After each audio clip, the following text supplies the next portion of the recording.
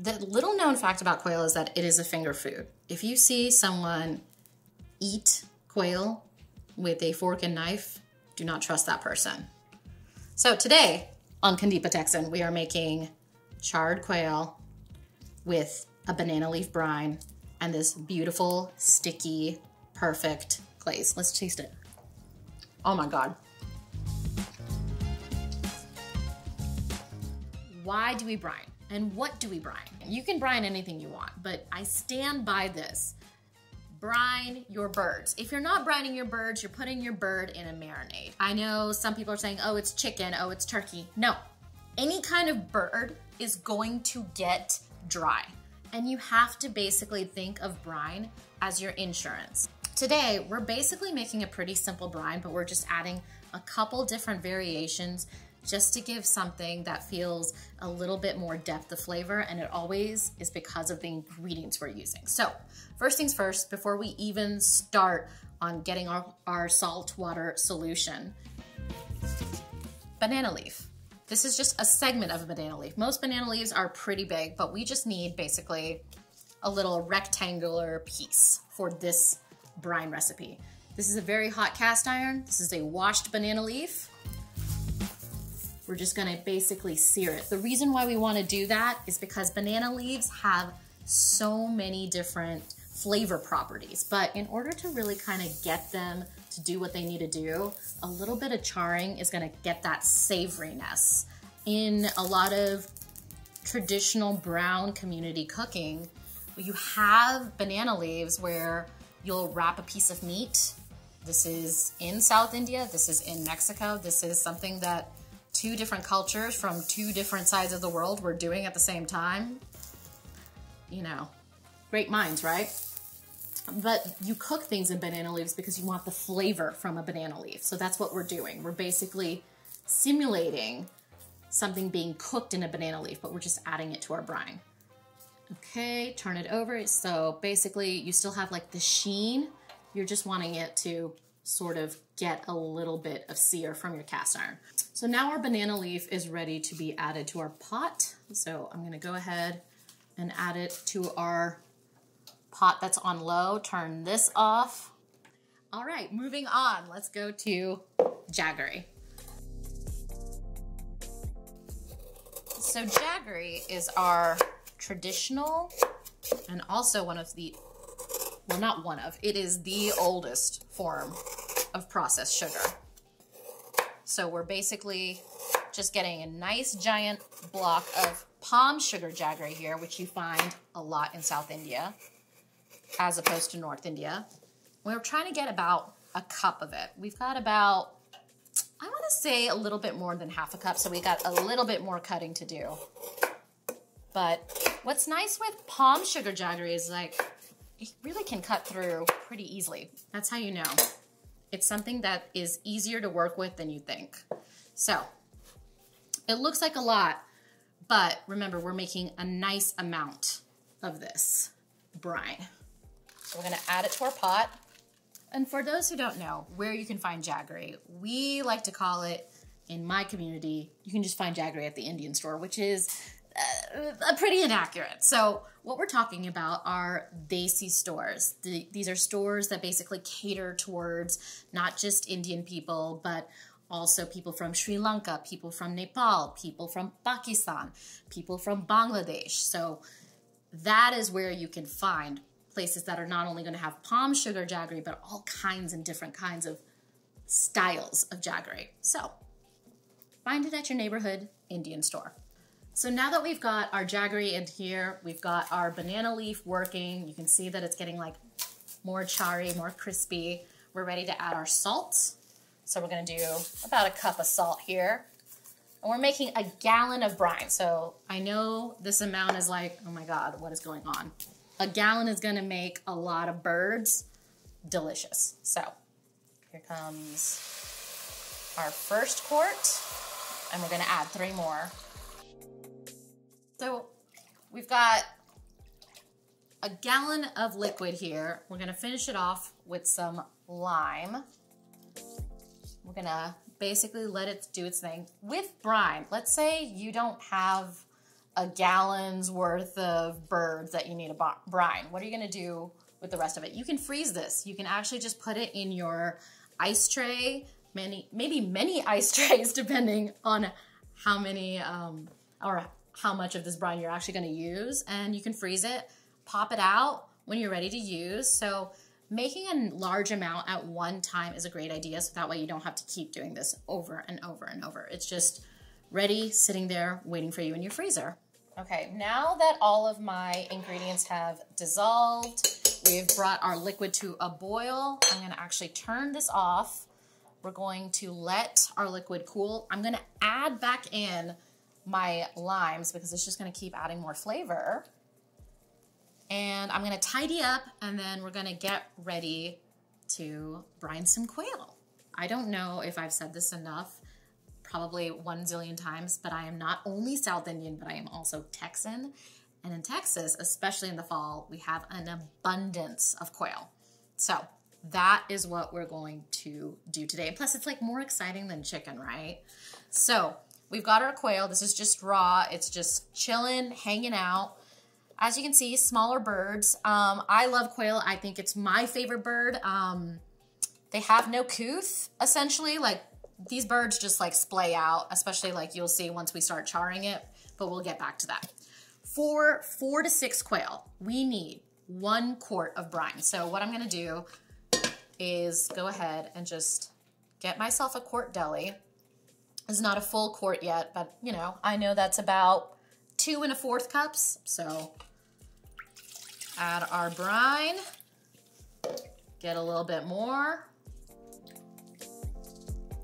And here, you know, because I'm gonna store the rest of this brine by itself, I'm gonna go ahead and fish out our beautiful charred banana leaf and go ahead and transfer it for our quail. Extra flavor, right? Plus, if I'm freezing the rest of this, I'm not gonna have the limes in there. I'm not gonna have all of that. I want this to be easily frozen in some ice trays. So now I'm gonna get my quail, go ahead and submerge all four of these babies in our water. And this is going to be brining for quail. Honestly, you can get this ready in two hours. You can get this ready in four hours. The best time is between six to eight hours. So it doesn't take as long as bigger birds because that makes a lot of sense, but uh, basically two to six hours, two to eight hours, that's your sweet spot for quail. So we're gonna go ahead and put this quail in the fridge. And in the meantime, I'm gonna go ahead and make a glaze with the Jaggery caramel. First things first, I want to get a cast iron going ready steady because this is all gonna come together pretty quickly. So I want something hot and happening on the side so I can get my ingredients together and I'm not wasting time. So as you know, probably by now, if this is not your first video, I like things spicy. So we're gonna go ahead and roughly chop, and I mean roughly chop. I've got about three or four Thai chilies. I love using Thai chilies when I'm making a glaze because they have a little bit of sweetness to them. They have a little bit of funk to them. Thai chilies are one of my favorites. So I'm gonna go ahead and add it to this cast iron. And then that's just not enough heat for me. And I need a different kind of heat. So chili flakes, just ubiquitous chili flakes. They all come from one kind of chili, but who knows? You just get them at the grocery store and they just say chili flakes. So I'm gonna say that's about a tablespoon or so of chili flakes. I'm gonna let that kind of heat up because when you just add chilies to a dry cast iron, it actually lets it bloom. It's like spices, like literally spices, right? It's going to make sure that we get a little bit more of a floral heat. So letting that go. Here I have some tamarind paste. I want to use paste whenever I'm making a glaze because I want to make sure something is sticky. It's going to stick to whatever meat, whatever vegetable I'm trying to glaze. This is a place where I would not use tamarind water. I want tamarind paste. So just go to the store, go to the grocery store, get some tamarind paste. Jaggery caramel we have a whole recipe in the description for you if you want to learn how to make it from scratch. Add a cup of this Jaggery caramel to our searing cast iron. Our Jaggery is kind of getting itself acquainted with our chilies And then we're gonna go ahead and add, I have, I have a cameraman here who is very upset every time I'm left-handed, so I, I need to do things this way in order for me to feel good. But in order for y'all to see it, I need to do it this way. All right, so we have our paste. We have our Jaggery caramel. We have our chilies. If you have noticed, I'm making a glaze and I am not adding salt to it. The reason why I'm not adding salt to it is because we have plenty of salt in that brine.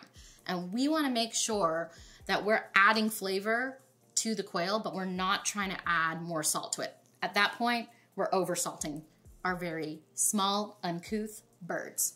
So as that's going, it's coming together pretty quickly. I'm gonna go ahead and squeeze a lime directly into my cast iron. Okay, I feel good about the amount of lime. I'm gonna cut it. That literally took about what, three minutes? Your glaze is done. So I'm gonna wipe my hands, wash it, get this off of heat, and then we're gonna get ready to char some quail. Okay, we have our quail fully brined. It's been about eight hours. Before I took basically all of my setup, I made sure to take the brain, the brain, the quail out of the brine so it needed to just rest outside of the brine. I want to make sure I get a nice sear on it. And if I got straight from quail to brine to cast iron, it would poach instead of sear. So that's why just giving it about 40 minutes to an hour to let it breathe by itself is gonna do a world of good before we start searing. So quail is ready. I'm gonna take just a portion of my glaze to basically brush onto the raw quail. That's why we have two different bowls here.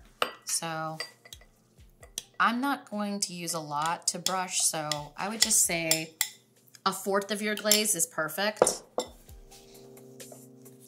With your pastry brush, just take your time to make sure you get glaze on every little bit of it. It's a small bird, so go a little crazy. Like this is just its main flavoring agent other than the brine. So you wanna make sure that your quail is completely submerged in your gorgeous glaze. Plus, you spent like three whole minutes to make the glaze, right? Like, get your money's worth. Quail is expensive, so that's why you wanna make sure this is good. Flip it. Do it one more time. In, in a way, it's a little bit similar to barbecue because when you go to a barbecue, when you think about a barbecue glaze, you're thinking about smoky flavors. It's the same thing is happening here. I know Bernie is not a word, but I'm using it that way. We want charry, burny flavors, okay? Boerne is a city. In Texas. Boerne is a city in Texas. Yeah, we also want flavors from Boerne, Texas. If you're from Boerne, Texas, comment below. I don't know. You can comment if you want. All right, guys. I feel like this is plenty of glaze. I'm going to go ahead and add about a tablespoon to my giant cast iron. I'm using a very big cast iron even though it's for small quail because this needs a little room between each quail to do its thing. All right, first one. And with quail, make sure you put breast side down first.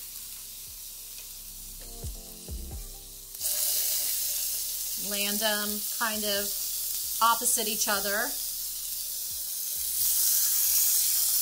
And basically, we're just going to let it cook on each side for about three minutes. We're not touching our quail yet, but you can already tell here that the meat is starting to seize up. That's what we're looking for. We're looking for pops. We're looking for the meat to start going up on the leg bone right there.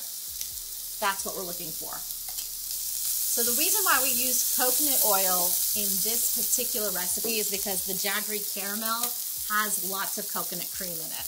You can use any oil you want to sear quail in, right? Like uh, whatever you want but I want to continue to have a flavor profile. So if I know that the Jaggery caramel has lots of coconut cream in it, I'm going to go ahead and use coconut oil because I'm trying to make sure the flavors here are pronounced. So there's different ways of building flavor. One of the ways you can do it is if you know something is happening in your glaze, and that is a fat you can use to help sear it, that's a match right there. Okay, now we're ready to turn this over. Let's take a look. Ah, come on.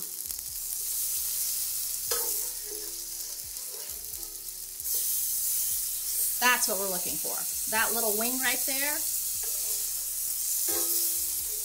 And this is a good way to kind of tell what part of your cast iron is hot, what part of your cast iron needs a little bit of work. So I'm going to go ahead and turn my quail to where I can get another sear on it. So I know it's hot over here, it's hot over here.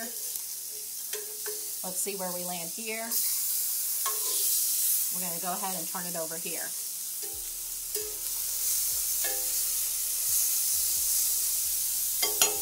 All right, another way you can see that things are getting cooked closer, your quail is actually going to kind of seize up. It'll actually raise itself because it's getting more air within it and it's cooking.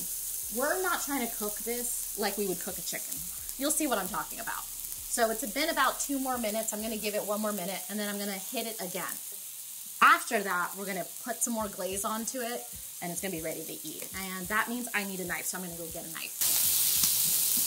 All right, I'm gonna turn this one over. We're gonna check and see our most done quail and see where we're at. I'll flip these guys over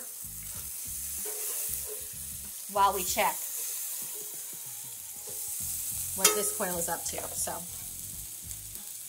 I like to basically take the middle of my knife and then hold down here and let your dominant hand just sort of crack it open like that. And we can see our quail is ready, steady to go. So that means I'm gonna go ahead and take the rest of the quail out. And we're going to let it sort of rest for a second. Let's see where we're at. Beautiful. That's what we want. Okay, two for two, guys. This is very exciting stuff for me. Woo! okay, I'm getting cocky. Hold on. Bam! So we're gonna go ahead and take our half quail little bodies, gorgeous ladies. And you can really plate however you want, but I like I like to feel like it's just like a tower tower of quail. They're so tiny that that's really like to me appealing. I'm gonna go ahead and spoon over more of this gorgeous glaze. We're looking for a very acidic and sticky time with quail. Lots of lime right at the end, some herbs, Yes, let's use both, both parts of the lime. Let's go crazy here. Fuck wings, eat quail. Here is our charred quail, brined in banana leaf, glazed in jaggery caramel, lots of chilies. It's going to be delicious. This has been KanDeepa Texan. I'm your chef, Deepa Shridhar, and I'll see you in the next video. Like and subscribe for more.